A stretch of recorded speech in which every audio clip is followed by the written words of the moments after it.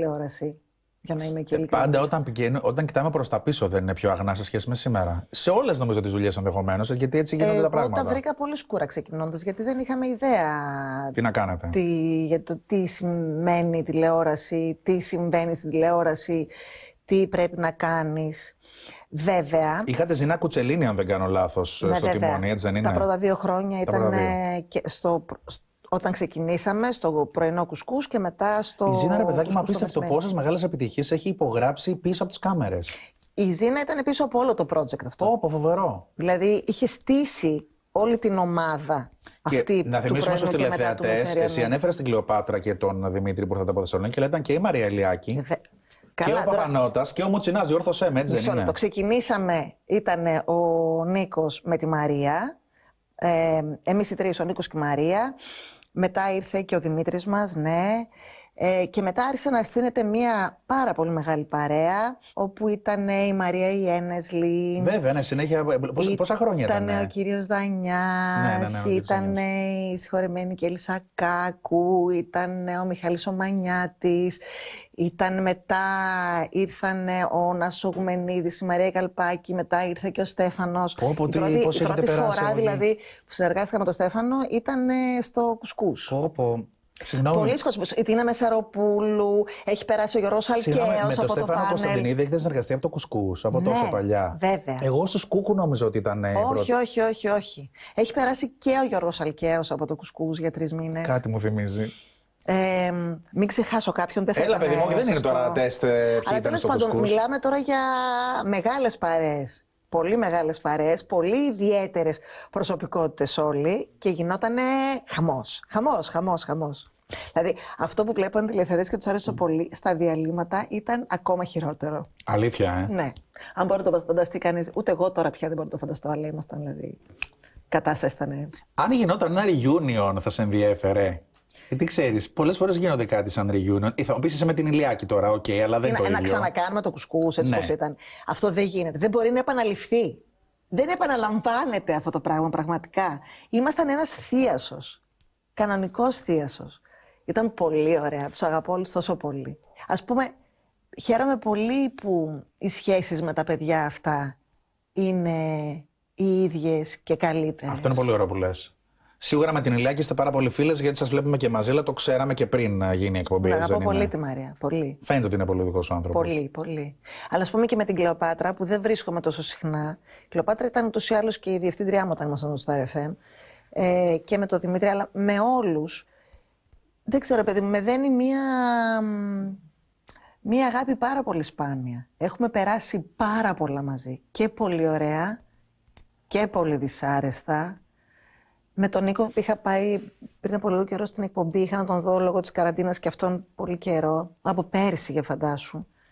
Ε, και με το που βρεθήκαμε μαζί ήταν Σαν να μην είχε περάσει μια τίποτα, μέρα. ένα μάτς τέλειο. Είμαι τόσο χαρούμενη γι' αυτό. Βέβαια, κάποιοι άνθρωποι είναι κοντά μας και δίπλα μας, χωρίς να είναι στην ουσία κάθε μέρα κοντά μας. Ξέρεις, καταλαβαίνεις πώς το λέω. Ναι. Καλά, ούτως ή άλλως εγώ τώρα ζω και μια ζωή που δεν είναι εύκολο να βλέπω και πολύ Τότε κόσμο. δεν ήσουν μαμά. Αλλά όμως με τα τηλεφωνήματα, με τα μηνύματά μας, με τα γέλια μας, πάντα έτσι βρίσκουμε τρόπους να είμαστε μαζί. Είπα τη λέξη μαμά. Πώς είσαι σαν μητέρα, Καταπληκτική. Εγώ θεωρώ ότι είμαι καλή. Είσαι αυστηρή, είσαι υποπροστατευτική, κάνεις χατήρια. Είμαι απ' όλα. Ανάλογα στη φάση μου. Δηλαδή; ε, θα πρέπει να είμαι αυστηρή, πρέπει να βάλω κάποια όρια, δεν γίνεται διαφορετικά. Αλλά ε, ξέρουν ότι μπορούν ανά πάσα στιγμή να με κάνουν ό,τι θέλουν. Και αυτό προσπαθώ να Σε το τρελαίνει. πολεμήσω. Α. Προσπαθώ να το πολεμήσω, αλλά όχι πάρα πολύ. Δηλαδή θέλω τα παιδιά να παίρνουν πολύ αγάπη. Θέλω να, μ, ε, να αισθάνονται άνετα. Δεν θέλω να, να τα έχω υποπεριορισμό. Θέλω να μεγαλώνουν ελεύθερα, όμορφα. Θέλω να γίνουν ανεξάρτητα. Θέλω να γίνουν δυνατά. Αυτό θέλω. Σίγουρα Αυτό να έχουν την προσπαθώ. υγεία τους που είναι το πιο βασικό. Αλλά ας πούμε για παράδειγμα, επειδή έχουν μεγαλώσει και τα δύο αυτά παιδιά σε ένα άκρος καλλιτεχνικό περιβάλλον, έτσι, με αυτή τη μαμά και αυτόν τον πατέρα, ε, με την Κατερίνα και τον ε, Κρατερό. Αν μεθαύριο, μπορεί και ήδη να το λένε, δεν ξέρω, που είναι ότι ξέρεις, π.χ. θέλω να γίνω ηθοποιός. Η Αέλια μου λέει τώρα, το τελευταίο είναι θέλει να γίνει τραγουδίστρια. ΟΚ. Ναι, κορίτσι μου, ό,τι θες. Τι να πω. Και από μέσα σου λες, Παναγία μου, ας αλλάξει γνώμη σε ένα χρόνο. Να μου πει ότι θέλει να γίνει φυσικός. Ε, ε, να μου πει ότι θέλει να γίνει πυρηνικός φυσικός. Όχι. Ένας απλός φυσικός. Είναι από που ήθελα να πάει στην NASA αστροναύτης; Αυτό, ένα τέτοιο Σε ένα πράγμα. πρόγραμμα θα ήθελα. της NASA, Ε, ναι. Το περιμένω αυτό. Δεν είναι ότι δεν το περιμένω. Η Αέλια ε, έχει μεγαλώσει με, πραγματικά σε θέατρα και σε στούντιο. Μα, Ο γι' Άρης αυτό το λιγότερο λέω. λόγω της καραντίνας κτλ. Ε, θεωρώ ότι θα είναι Αλλά κάτι η σαν- Αέλια είναι full έτσι. Δηλαδή, όπως άλλα παιδιά ε, σκέφτονται μ, ότι ο χώρος ενός γραφείου είναι ένα φυσικό περιβάλλον για αυτά. Η Αέλια, όσους γνώριζε, Τις κάμερες. νόμιζε ότι είναι στη τηλε- Όχι, μάλλον. Ναι, ότι όποιος ξέρει υποχρεωτικά βγαίνει και στη τηλεόραση. Α, κατάλαβα, κατάλαβες; κατάλαβα, ναι. ναι. Πώς εγώ νόμιζα ότι όλοι είναι δάσκαλοι; Όλοι είναι δάσκαλοι. Η Αέλια νομίζει ότι Όλα όλοι. Κάμερες. Όλοι βγαίνουν στη τηλεόραση. Όλοι έβγαιναν. Τώρα πια ξέρει πολύ καλά γιατί μεγάλος είναι σχεδόν 11 χρονών. Αλλά είχε αυτή την αίσθηση. Όποιο ανθρώπου έβλεπε, μετά τους έβλεπε κάποιος στη τηλεόραση και έλεγε Α, ο Γεράσιμο.